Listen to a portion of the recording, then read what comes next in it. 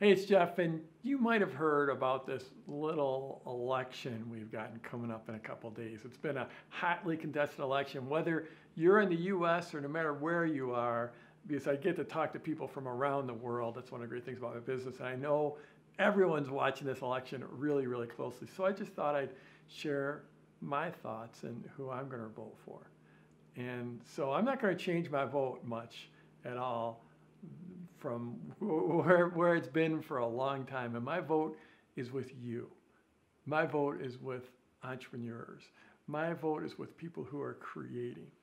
Because in the reality, you know, there are political systems and we have to exist within those political systems.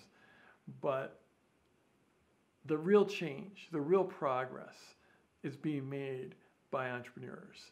They're, everything good's being created by them. And, uh, and you know, I've got a wide ranging definition of entrepreneurs. It's basically anyone who's out there creating, you know, authors, artists, uh, trainers, coaches, consultants, teachers who are, who are just actually building something. They're the ones that I'm fans of. They're the ones that I'm voting for. Those are the ones I'm, I, that I'm putting my faith in. You know, over the last couple days, I've, I've been shooting some, um, some basically hot seats, real, not hot seats, but um, uh, case studies with, with some of my clients. And uh, it's been super simple. I've just been Skyping with them and we've been just shooting the video for, with our webcams, the most basic kind of things you could ever imagine. And it's just been so incredibly, well, for me, heartwarming, but also inspirational. Um, you know, I talked to Ross over in the UK, and um, he's, he's helping actors uh, with their mental game. He's and, and he's making a huge impact on people. He's he's building this great business, and he's just so excited about it. It was just so much fun. And then I talked to Kara, who's um, teaching cake decorators, couture cake decorators, how to build their business and and how to you know how to express their art in their cakes and do it and be able to make a living at it.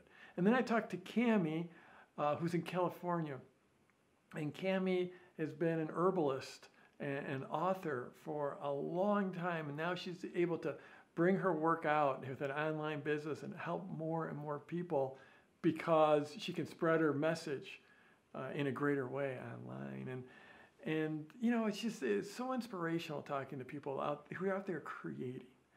And I'll tell you what, wh- whoever wins and loses in this election they aren't going to have the impact on our lives that entrepreneurs are going to have. And, and that's why I celebrate entrepreneurs and I celebrate them every day in my business. And that's why I work so hard to help them out. And that's why I celebrate you. So that's where my vote is.